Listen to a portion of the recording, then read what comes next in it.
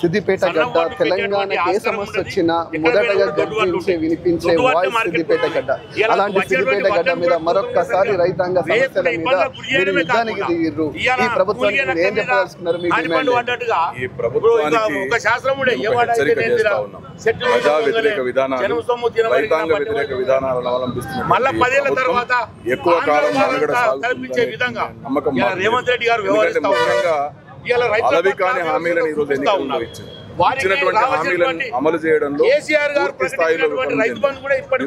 ఒక్కొక్క హామీని హామీని నీరుగా హామీని ఇచ్చినటువంటి హామీని తప్పించుకునే విధంగా కొత్త కొత్త నిబంధనలు మొన్న రుణమాఫీ విషయంలో ఆగస్టు డిసెంబర్ తొమ్మిది ఆ తర్వాత ఆగస్టు. పదిహేను అంటున్నారు. ఇంతకంటే అది ఇస్తారనేటువంటి ఇంకా నమ్మకం ఈనాడు దుర్మార్గమైనటువంటి ప్రజలకు. లేదు. దానికి ఏదో రైతు సంక్షేమ కార్పొరేషన్ ఏర్పాటు చేస్తాం. దాని ద్వారా లోన్ తీసుకొని ఇస్తామని చెప్పి ప్రజలను మభ్యపెట్టేటువంటి ప్రయత్నం చేస్తున్నారు అదే కాదు ఈనాడు రైతు బంధు విషయంలో మరి ఈ రోజు వరకు కూడా ఐదు ఎకరాల వరకు మాత్రమే రైతు బంధు వచ్చింది.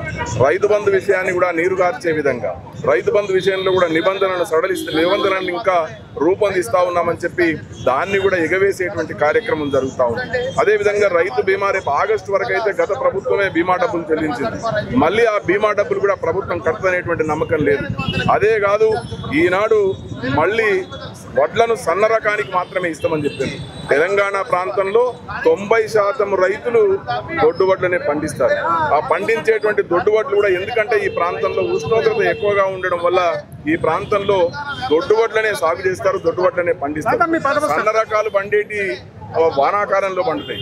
దానికి బహిరంగ మార్కెట్లోనే ఇరవై ఎనిమిది వందల రూపాయలు ఉంది. దానికోసం ఏ రైతు కూడా ఈనాడు రైతులకు రేవంత్ రెడ్డి గారు బోనస్ ఇవ్వాలని ఆలోచన చేస్తారు ఎందుకంటే బహిరంగ మార్కెట్లో కల్లాల దగ్గరకు వచ్చి ఇరవై ఎనిమిది వందల రూపాయలు కొంటున్నారు. దొడ్డు వడ్లు ఏదైతున్నారో దానికి ప్రభుత్వం ఇచ్చినటువంటి హామీ మేరకు ఈనాడు ఐదు వందల రూపాయల బోనస్ ఇవ్వాలని మేము డిమాండ్ చేస్తాం రాష్ట్ర ముఖ్యమంత్రికి వ్యవసాయం అంటే తెలియదు.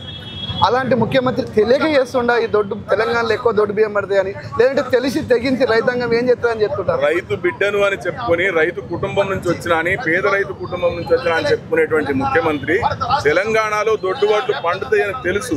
కానీ తెలిసి కూడా రైతులను నయవంచన చేస్తా ఉన్నాడు నయవంచనకు పాల్పడుతున్నాడు రైతులను మోస మోసం చేయడానికి ప్రయత్నం చేస్తా ఉన్నాడని చెప్పి సందర్భంగా భావిస్తా ఉన్నాం. ఎట్టి పరిస్థితులలో కూడా రైతులు ఉద్యమించేది ఖాయం ఈ ప్రభుత్వం మెడలు వంచేది ఖాయం.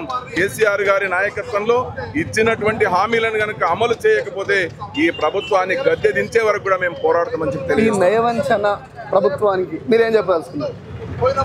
మేము మా రైతుల యొక్క హక్కులు ఆయన ఆరు గ్యారంటీలలో రైతులకు ఏదైతే హామీలు ఇచ్చారో ఆ హామీలు నెరవేరేదాకా తప్పకుండా ఉద్యమిస్తాం.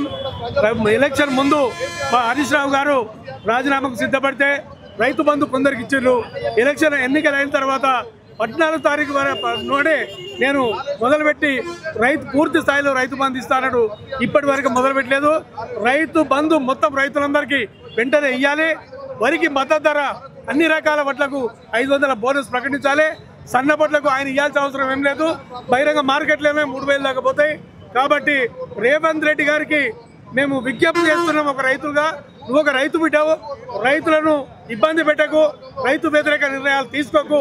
తీసుకుంటే ఎత్తేడిసిన వ్యవసాయం రైతు ఏడిసిన రాజ్యం కూలిపోతుంది. నీ ప్రభుత్వం కూలిపోతుంది తప్పకుండా. కావున రైతులను కాపాడుకోమని నేను మీరు ఈ రాష్ట్ర ప్రభుత్వానికి ఏం చెప్పాలనుకుంటున్నారు మీరు ఏవైతే హామీలు ఇచ్చిందో ఆ హామీలను నిలబెట్టుకుండ్రి ప్రజలు మీ మాటలను నమ్మి మిమ్మల్ని అధికారంలోకి తీసుకొచ్చింది మరి ఆ ప్రజలకు ఇచ్చినటువంటి మాటలను నిలబెట్టుకుంటే మీరు ప్రజలలో అభిమానాన్ని కాపాడుకుంటారు. లేదా మీరు ప్రజలకు ఇచ్చినటువంటి హామీలను కనుక మోసం చేసి ఆ మాట తప్పినట్టయితే తప్పకుండా మీరు ప్రజాగ్రహానికి గురి కావాల్సి వస్తుంది కాబట్టి ఏదైతే మీరు హామీలు ఇచ్చిండ్రో ఈ రోజు మీరు ఇచ్చినటువంటి ఆరు హామీలను చెప్తున్న వాటిల్లో నాలుగు వందల ఇరవై ఉన్నాయి. అవన్నింటిని కూడా అమలు చేసి ఏదైతే హరీష్ రావు గారు మిమ్మల్ని డిమాండ్ చేసిండో ఆ డిమాండ్ ప్రకారంగా మీరు అమలు చేసి నిరూపించుకోవాలి. లేకంటే ఆగస్టు పదిహేనవ తేదీ మీకు చివరి రోజు అని చెప్పి సందర్భంగా తెలియజేస్తాం.